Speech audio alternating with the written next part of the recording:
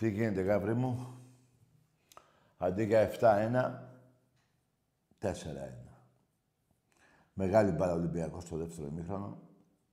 Μου έκανε εντύπωση ότι μετά το τέταρτο γκολ κυνηγάγαμε το πέμπτο, το έκτο, το έβδομο. Ήμασταν κοντά, χάσαμε τον πέναλτι. Ο Φορτούνης ήταν κουρασμένος εκείνη την ώρα. Έτσι πιστεύω από κούραση έχασε τον πέναλτι. Ο Μπιέλ δεν δικαιολογείται για μένα.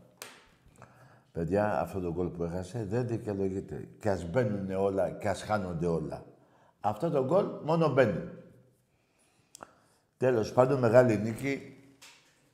Μεγάλη νίκη. Τι, μεγάλη νίκη. Ε, Σεπτέμβρη μήνα. Έχουμε τρελαθεί στα Ντόρτια. Μόνο ο Πανσεραϊκός έφαγε δύο γκολ. Όλοι οι άλλοι στο Καραϊσκάκι τέσσερα.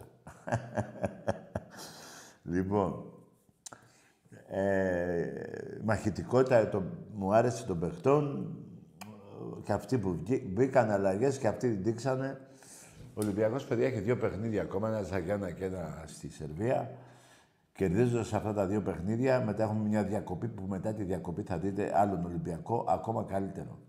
Και η με τον άλλο θα έχει μάθει το παιχνίδι του άλλου, τέλος πάντων.